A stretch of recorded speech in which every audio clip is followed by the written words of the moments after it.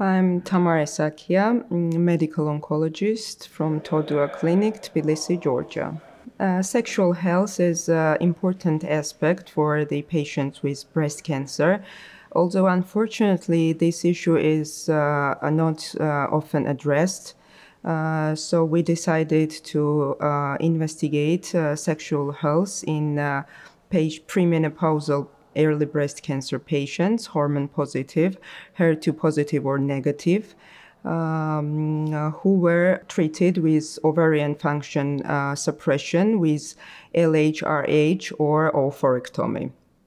Uh, we uh, uh, surveyed all the patients with EORTC QLQ BR45 questionnaire um, during their uh, visits at the clinic.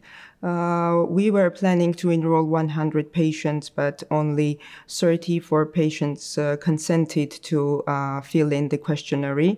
Uh, this highlights uh, the problem that uh, patients with breast cancer in Georgia are not ready to address their sexual issues.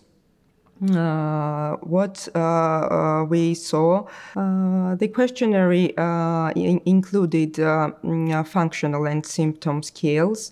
and what we saw was that the functional score more than 60 was seen predominantly in patients who had LH, RH agonists and uh, S score uh, less than 40 uh, was also seen it with higher percentage in patients who had um, LHRH agonists, indicating higher quality of life in this group.